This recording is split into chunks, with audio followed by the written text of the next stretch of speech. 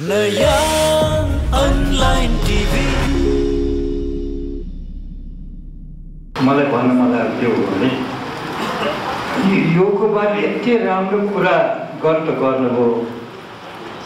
यसको समय सापेक्ष कुरा गरेर पनि समय पनि तोकियो यो यो यो भन्ने कुरा आयो। पतञ्जलिले पतञ्जलिकोलाई को योगको प्रवर्तक हो? पतञ्जलिको। त पतञ्जलिको योगको प्रवर्तक पतञ्जलिले जे जति गरे हुन त यति बेला रामदेवको कुरा जस्तो गरे के के गरेको सबै देखेको कुरो हो। उनको नाम चाहिँ आएन किन आएन त्यस थाहा भएन। तर मनमा भन्न लागेको कुरो चाहिँ के हो भने यो हाम्रो देशमा नेपालको मात्र कुरा नगरौँ जब चाहिँ नेपालको सभ्यताको कुरा आउँछ ज्ञान गुणको कुरा आउँछ योगको कुरा आउँछ सदर्शको कुरा आउँछ सारा कुरा आउँछ हाम्रो छिमेकी देशहरूसँग पनि सम्बन्धित छ हामीहरूको त्यो परिप्रेक्ष्यमा त्यहाँ तपाईँ बद्रीनाथको कुरा गर्नुहोस् त्यहाँ केदारनाथको कुरा गर्नुहोस्। बद्रीनाथदेखि केदारनाथदेखि तपाईँ हिमालको छेउ छेउ छेउ छेउ भएर हिमालको बेसी बेसी भएर मुठीनाथ पनि आउँछ मुठीनाथबाट पशुपतनाथ पनि आउँछ। एउटा कल्चरल अर्बिट हो त्यो सांस्कृतिक वृत्तमा यसरी हाम्रो गाँसिएको छ यसरी जोडिएको छ यसरी सारा त्यो त्यो योग भनौँ या जे भनौँ यी सारा कुराहरू आइरहेको त्यो पनि अलिकति टच गरेर गरेको भए यो यो विषयवस्तुले अलिकति ज्यादै फराकिलो भएर ए हो त भन्ने कुरो चाहिँ पाउनुहुन्थ्यो।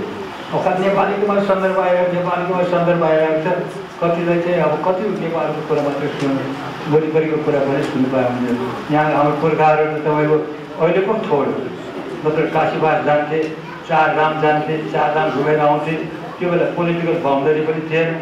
भिसा पनि लिनु पर्दैन थियो कहीँ कति के भोग्नु पनि पर्दैन थियो जहाँ गयो भने वसुदैव कुटुम्बकम त्यो जमाना त थियो कि हामीले पनि भइराखेको भने त्यति बेला आएको अनेक किसिमको अनेक हुँदा हुँदा तरकारीबाट क्वारेन्टाइनको नियम लागु गर्ने नगर्ने तरकारीको कुरा आइरहेको छ भारतले पिटीबाट गरेर आउँथ्यो क्वारेन्टाइनबाट पास गरेको नगरिकन यस्ता यस्ता कुरा आएर त्यो बेला त त्यो थिएन त्यति बेला स्वतन्त्र स्वतन्त्र थियो। त्यो बेलाको पनि योग त थियो नि। अब नामै तपाईँको बद्रीनाथ केदारनाथ मुक्तिनाथ पशुपतिनाथ भएपछि त थियो उहाँले नाथ सम्प्रदायको धेरै धेरै कुरा गर्नुभयो ती सन्दर्भमा उहाँले गोर्खनाथको धेरै सन्दर्भ कुरा गर्नुभयो तर मचेन्द्रनाथबाट कुरा गर्नु भएन रातो मचेन्द्रनाथ सेतो मचेन्द्रनाथको कुरा गर्नु भएन तिनीहरू पनि त योगका योगाचार्य हो नि अझ चाहिँ गोर्खनाथको गुरु हो मचेन्द्रनाथ त्यो गुरुको नाउँ नले चेलाको मात्र कुरा भएन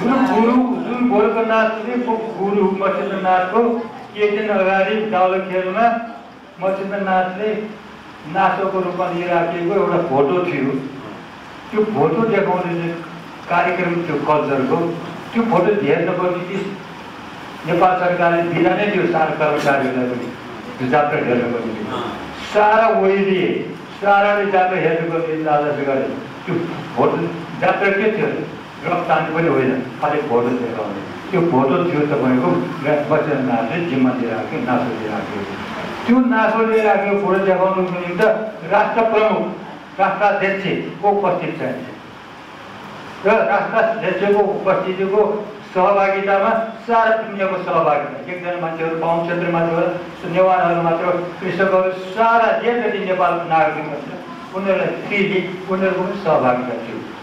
तर मचेन्द्रनाथ ठुलो योगी ठुलो योग हो त्यो? योगाचार्य हो त्यो। उनको नाउँ पनि नदिनु। र योगको बारेमा अनेक गर्नुभयो। अनि नेपालको चाहिँ ढाक लगाउने अब नेपालको ढाकीलाई के हो? रातो चाहिँ नाति यहाँ नेपालमा छ। भारतमा पनि छैन। हुन त उनलाई कामाहरू कामाक्षी आश्रमबाट ल्याएको र भए पनि उनको त वासस्थान त यहाँ छ। कुनै संसारमा कुनै देवताको दुईवटा मन्दिर छ। त्यो रातो मन्दिर दुईवटा मन्दिर। वर्षावासको निम्ति तपाईँको बुढमतीमा बस्छ। हिउँदमा का ललितपुरमा आउँछ। तपाईँको दुईवटा मन्दिर भव्य भव्य मन्दिर छ। आफ्नो सचिवालय चलाइराखेको छ उनको जात्रा चलाउनलाई चाहिँ सचिवालयले प्रत्येक दिनको उनको कर्म कामको निमित्त कति खर्च गर्नु के गर्नु कतिलाई कति खुवाउनु पर्ने कुन कुन गर्ने सारा गरिराखेको त्यत्रो व्यवस्था त्यत्रो दुनियाँ कुन देवताको होइन त्यत्रो एउटा मचेन्द्रनाथको नाम पनि आउँदैछ भने बद्रीनाथको पनि गुरुको नाम लिनुहुन्छ त्यो त अलिकति कस्तो लाग्ने तपाईँलाई पनि लाग्यो भने एउटा कुरो चाहिँ त्यो चाहिँ जाने अलिकति म चाहिँ पार्टी मान्छे भएको हुनाले पनि भन्यो होला भने तपाईँले भन्यो होला। पार्ने गरेर भनेको थिएँ नेपालमा यस्ता किसिमका गाँटो बसेन सेतो बसेन नाच अझ तपाईँ नालामा गयो भने नालामा सुन्नु नाच अझ तपाईँको चौबाटामा गयो भने आर्य नाच त्यो नाचको सम्प्रदाय यति चाहिँ भन्दै छैन तपाईँको अनि तपाईँ उहाँ पृथ्वीनारायण शाहको कुरा गरे ती पृथ्वीनारायण शाह होस् या रणबहादुर शाह होस् प्रताप शाह होस् या जुनसुकी शाह होस् यी सब नाच सम्प्रदायबाट तपाईँको त्यो पृष्ठभूमिमा उनीहरूले उनीहरूलाई त्यसमा तपाईँका आधारित दीक्षा दिएका मान्छेहरू हुन्छन् पनि त्यसमा पनि केही भन्नु छैन त्यस्तो एउटा परम्परा भनेको मतलब के हो योग त योग हो त कल्चर बिनाको योग अलिक खल्लो लाएर हरेक नाचको सम्प्रदाय हरेक जात्रा हुन्छन् खिचेदिती हुन्छन् अहिले अरू अघि जुन डेमोन्स्ट्रेसन गरे त एकजना व्यक्तिले जीवन दर्शन त भयो त पद्धति भएन शैली भएन त्यो भनेको मतलब कल्चर भएन त्यो कल्चरलाई पनि लिनुहोस् न त्यो जात्रा त हाम्रो कल्चर हो नि त्यो भोटो जात्राको त एउटा मिट हो नि त्यो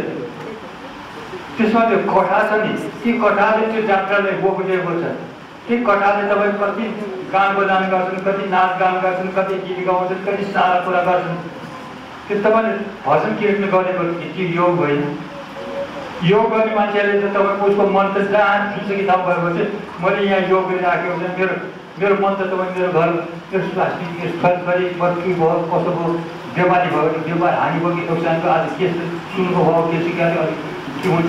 त्यो हुन्छ नि त तर भजन कीर्तन गर्ने मान्छेलाई उसको मन चाहिँ यति कन्ट्रोल गरिराखेको हुन्छ कि कान पनि उसीमा मुख पनि उसीमा सारा कुरा आँखा पनि यसै हुन्छ।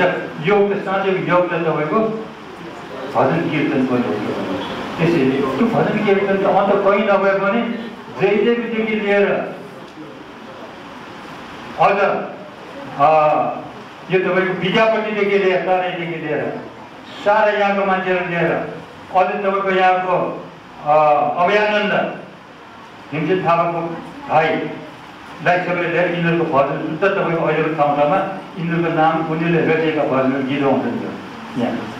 त्यति राम्रो भजनहरू गीत गाउँछन् मान्छेहरू रहस्य हुन्छ थाहा छैन उनीहरूले योग गरिराखेको तर म त भन्छु त्यो गीत गाएको त्यो भजन कीर्तन घन्टा तिन घन्टा त्यहाँ बसेको त्यो योग गरिराखेको छ उसले मनलाई कन्ट्रोल गरिराखेको छ उसले सारा कुरा उसले सारा कुरा त्यसमा आइराखेको छ बरु योगमा भाग योगमा बस्ने मान्छेले अर्थात् विपसनामा गएर पौड धर्म गर्ने मान्छेको मन यताउति जाला।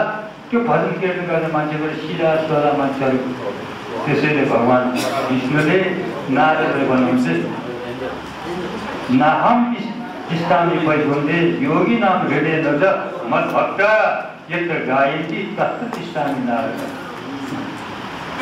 त्यो योगीहरूको मनमा त पढे लेखेको हुन्छ जानेको चाहिँ यति जानेको हुन्छ उनीहरू मनमा बस्ने ठाउँ पनि हुँदैन मलाई त्यसरी सिधा सुधा मान्छेले सारा मलाई खाली गरिराखेको छ उनीहरूको हृदय म आउनुहोस् भगवान् मेरो हृदयमा आएर बसिदिनुहोस् आउनुहोस् न भगवान् मेरो हृदयमा आएर बस्नु त्यहाँ हरिराम गाओस् त्यहाँ फुटुङ चिस्टुङ फुटुङ सर्नुका हामी भन्नुहोस्। त्यो उसले गीत गाइराखेको छ। उसले तपाईँको भजन कीर्तन गरिराखे स्वागत गरिराखे त्यसैले हे नारायण तिमी नशब्द वैकुण्ठमा म बस्नु लक्ष्मी सरस्वतीको साथमा त्यही मात्र म चाहिँ योगीहरूको पढे लेखेको मान्छे ज्ञान पनि गरे। योग गर्न जानेहरूको योगाचार्यहरूको हृदयमा मात्रै बस्यो भने जहाँ भोला भाला सिधा सोला स्वच्छ हृदय भएका पवित्र हृदयका भक्तजनहरूले गीत गाउँछन् भजन कीर्तन गर्छन् नाच्छन् तिजमा ती हाम्रो आइगएर त्यसै नाचेको होला पशुपतिमा त्यो त योग गरिराखेको उसले निराहार बस्छ योगीहरू निराहार गर्न सक्छ मकर पकाएर खानपिन गर्छन् भने ठुकी ननेलेको पनि भजन कीर्तन गर्छन् त्यो पनि एउटा सङ्कल्प हो सङ्कल्पको आधारमा धर्मको आधार दर्शनको आधारमा गीत गाएर नाचेर ठाउँ ठाउँबाट आएर गएर तपाईँले गर्छन् यस्ता त दुनियाँमा कहीँ पनि भइसकेको भने यी कुराहरू पनि चर्चा गर्दैछु न अलिकति नेपालको सन्दर्भमा। अब ती सारा अब पतञ्जलिका मात्रै कुरा पतञ्जलिका योग त्यस्तै गरेर गोर्खामाथि योग पनि गरेर अहिले अहिलेको युगको पनि कुरा गर्नुपर्छ सारा कुरो गर्छ त्यसो भएको हुनाले अलिकति कस्तो कस्तो लागेको एउटा टिप्पणी के हो अर्को कुरो त यहाँ समय धेरै गइसकेको के भनौँ तर योगले योगको निम्ति अब हुनुहुँदा योगले नै यो यो दिवसलाई नै योग दिवस मनाइसकेपछि अब कुरा के भयो धर्म सात्विकता र धार्मिक निर्दिष्टताको कुरा गर्दै भएन उसले योग गरिसकेको छ त मुसलमानले योग गर्छ कि गर्दैन? मलाई थाहा छैन। किन उसको त अल्लाह छ? त्यस्तै कतिको मान्छेहरू हुन्छ त्यसैले युले पास गर्दैमा त्यो युलाई मान्छ कि मान्दैन कि मुसलमानहरूले पनि पशुपति प्रवेश गर्दैन पशुपति वास्तै गर्दैन। तर नागरिक त यहीँको मान्छे हो नि। त्यसैले यी धर्मका कुराहरू त ल बाहिरहरूले पनि कति कन्ट्रोल गरिराखेको हुन्छ। एक थरीलाई हिन्दूहरूलाई राम्रो होला बौद्धहरूलाई राम्रो होला। कति हिन्दू पनि होइन बौद्ध पनि होइन। आफ्नै तरिकाले आफ्नै जाति आदि जातिका आफ्नै कुराहरू लिएर गएका उनीहरूकै आफ्नै फिलोसफी होला आफ्नै दर्शन होला आफ्नै किसिमको ऊ होला तिनीहरूको निम्ति चिजहरू के गर्छ अब यहाँ सबभन्दा पहिले तपाईँको कार्ड गर्दाखेरि बौद्ध धर्मको पनि कुरा आयो सबभन्दा पुरानो बौद्ध धर्म आयो सँगै लाग्छ मलाई बौद्ध धर्मको अवस्था बौद्ध धर्म भएको के हो। बौद्ध धर्म भएको त भूत प्रेत भुक्सी त्यो कुरालाई ल्याएर अहिले चाहिँ त्यहाँ चल्छ यहाँ त्यो कुराको तपाईँको त्यो बेलाको कुरा गर्दै हुन्छ यी यी कुराहरूको पनि अहिले समय साक्लेको कुरा आउँछ तपाईँ चर्चा गर्नु ठिक छ। तर त्यसलाई आदिको कुरा गर्दाखेरि त सबभन्दा पहिले के थियो कस्तो थियो थाहा छैन तपाईँको कुन बेला बुद्धले के गरे कुन बेला के आयो भन्ने कुराहरू धेरै हुन्छ। त्यसो भएको हुनाले यी कुराहरू पनि नेपालको सन्दर्भमा कुरा गर्दाखेरि अलिकति हाम्रो पशुपति छैन। पशुपति त डेपुटेटर भयो म चाहिँ दाएको हो पशुपति त। पशुको मालिक त होइन पशुपति भनेको। पशु भनेको त सम्पूर्ण प्राणीहरू त्यो सम्पूर्ण प्राणीहरूको मालिक भएको हुनाले पशुपति भनेको ती पशुपतिलाई नै एउटा मछिदायक भनेको ती मछिदायकलाई नै गर्दै नै तपाईँले सारा बद्रीनाथ केदारनाथदेखि लिएर मुक्तिनाथदेखि लिएर पशुपतिसम्म जोडिदिएको छ एउटा कल्चर। त्यति राम्रो कल्चर छ जुन कल्चरमा वसुदैव कुटुम्ब हामी सबै दाजुभाइ सारा कुरामा भेद छैन कहीँ कति भेद छ समता ज्ञान समता बुद्धि यस्तो किसिमको। त्यो त गर्नु पऱ्यो तपाईँको त्यसो भएको लागि। यस्तो किसिमको नेपालको सन्दर्भमा पनि जोड्ने हो यी कुराहरू पनि पासपाते दर्शन चाहियो यहाँ अनेक किसिमको छ झाँक्रे अहिले पनि झाँक्रेहरू छन् तपाईँको उनीहरूमा पनि कहीँ कति राम्रो कुरो होला नि। खराब कुरो भयो भने रुटीबारी भए पनि त्यो रुटीबारीलाई भने अर्को कुरो। तर उनीहरूमा भएको राम्रो कुरो त हामीले मिल्न सकिन्छ कति चिया कति चमत्कार कति सहारा कुरा गर्छन् कति रोग निदान पनि गर्छन्। कसैले गर्न नसकेको कुरा पनि देखाउँछन् त।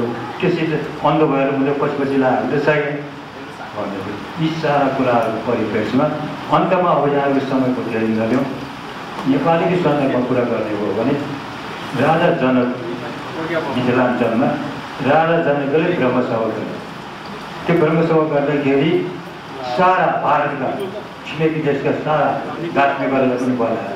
योगीहरूलाई पनि बोलायो।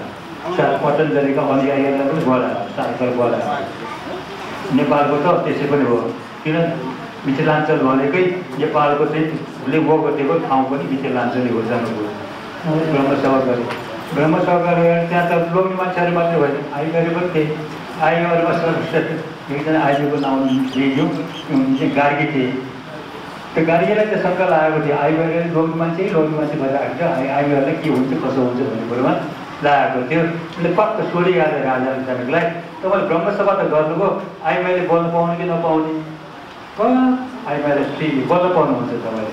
बोल्ने मात्रै होइन म चाहिँ एउटा प्रश्न दिन्छु त्यो प्रश्नको उत्तरको जवाब दिनुभयो भने हजारवटा गाई सुनको सिङ सिङले हरेक गाईको सिङमा सुनको पाताले मोडिएको खुरमा पनि सुनको पाताले मोडिएको हजारवटा असल मध्येको असल गाई नोबल पुरस्कारको तपाईँ लिएर जान सक्नुहुन्छ र सबै लालायित भयो त्यहाँ गाडीले पनि त्यो गाडी लिएर जाने भनेको पनि मन चाहेको थियो तर लोग्ने मान्छे जति जाउँ उसको एक लगायो त्यो आइमाईले बोल्ने त्यत्रो सभामा ब्रह्म सभा यो।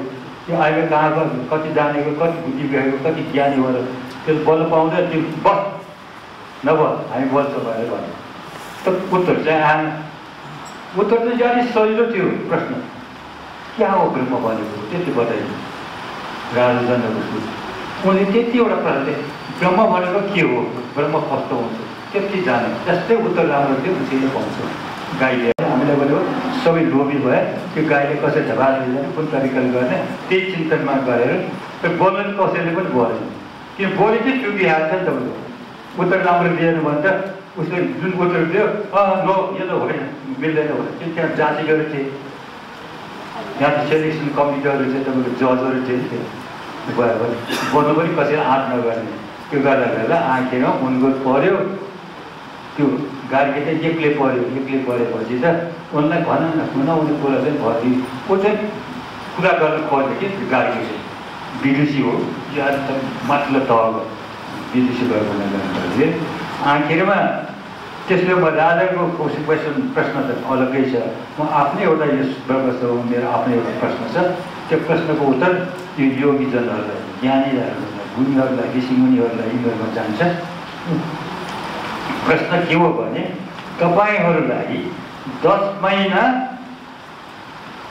गर्वमा कसलाई राख्यो त्यति एउटा प्रश्नको जवाब दस महिना गर्वमा राख्ने आइमाईहरूको निम्ति तपाईँले हुनसम्म होच्याएर कुरा गर्ने आइमाईलाई म गाडी मलाई होच्याउनुसम्म होच्याएन देश्यसम्म पनि भने यथाभावी कुरा गरेँ मैले सहेँ तर म आइमाई हुँ मेरो पनि गर्व छ तर तपाईँहरू गर्व गर्नुहुन्छ घमण्ड गर्नुहुन्छ हामीलाई जान्ने बुझ्ने कोही छैन भन्नुहुन्छ।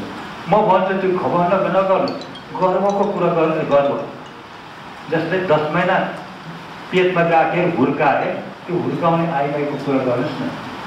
भनेपछि कसैले नबोलेपछि आइमाईहरूको गीत हो किन कसैले बोल्नु अन्त दस महिना त आइमाईहरूले गर्वमा राखेको नि हुर्काएको नि तपाईँ हामी सबैलाई हुर्काएको पनि आइमाईले मलाई हुर्काएको कि आमाले हो।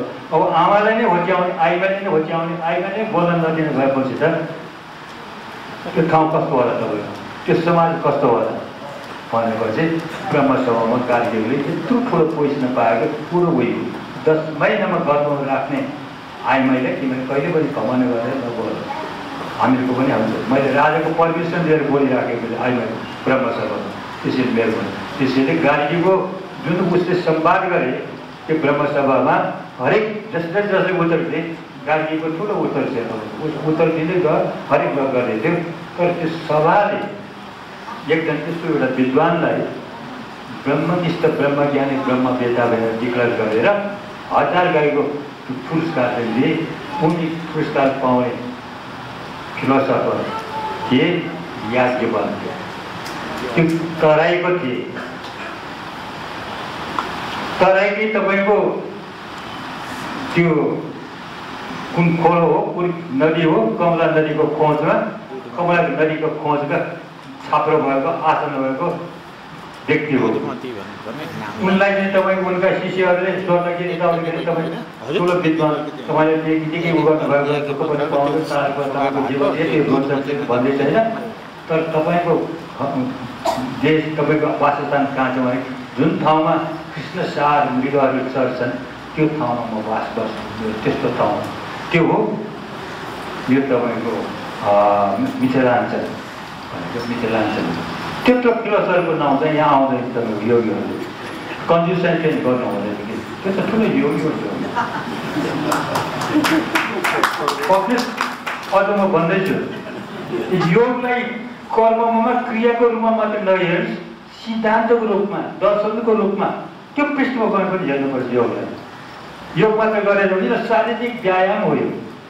चिनियाहरूको यस्तो व्यायाम कतिसम्म हरेक चिनियाले जानेको हुन्छ चमत्कार देखाउँछ। त त्योसँग सम्बन्धित जुन योग हो जुन योगले तपाईँको तपाईँको भनौँ कि अब जीवात्माले परमात्मासित मेलमिलाप गर्ने। त्यो कुरो चाहिँ त गायब हो नि तपाईँको योग मात्र जानेर के भयो? हात चला है यताउति गरेँ ल भयो। म पनि त बाँचिराखेँ म योग गर्दिनँ म त सय वर्ष टेकिराखेको छ तपाईँको योग त गर्दैन। योग त नेचुरल छ प्राकृतिक रूपमा हलाउँछु हिँड्छु यताउति गर्छ योग त उसी योग सिक्न राम्रो योगको विरोधी चाहिँ होइन। योग चाहिँ गर्नुपर्छ योगले बुद्धि राख्छ कृष्ण हुन्छ सार कुरा चाहिँ आफ्नो ठाउँ छ। तर योगको चाहिँ मुख्य चाहिँ फिलोसफी चाहिँ चाहियो। योगको दर्शन चाहियो। त्यो दर्शनको कुरो चाहिँ चाहिँ उ गर्नु भने त्यहाँ पतञ्जलिले गर्नु आखिर पतञ्जलिले पनि जीवात्माको मेलमिलाप परमात्मासँग गराउँछ त्यही ठाउँमा चाहिँ साङ्ख्य योग आउँछ। अनि भगवत गीता हरेक भगवत गीताको चाहिँ तपाईँको अठार अध्यायको हरेक अठार अध्यायको पुस्पिका पुस्पिका भनेको पोलो पनि सबभन्दा लास्टमा के भन्छ भने ब्रह्म विद्यायाम योग शास्त्रै भन्छ। हरेकमा परिरहेको छ। त्यो गीतामा चाहिँ तपाईँ योगको त्यत्रो गर्छ गीताको चर्चा गर्नुपर्छ पर्दैन हरेक तपाईँको अध्याय तपाईँ पढ्नुहोस् गीताको पढिराखेको होला ब्रह्म विद्यायाम योग शास्त्र भन्छ कन्क्लुड गर्छ। त्यसमा भक्ति योग छ ध्यान योग छ साधे योग छ योग सारा गरिराखेको छ। त्यहाँ शारीरिक प्रदर्शन त छैन त फिलोसफी फिलोसफी फिलोसफी कुरा छ। जीवनको शैली आइराखेको छ जीवनको दर्शन राखेको छ। स्वार्थ वर्ष यहाँ आइराखेको छ। त्योभन्दा बढी केही छैन छैन।